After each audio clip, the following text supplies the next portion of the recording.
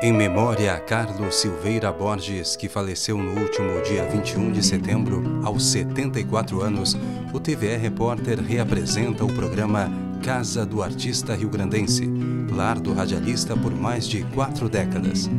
TVE Repórter, nesta quarta, 10 da noite.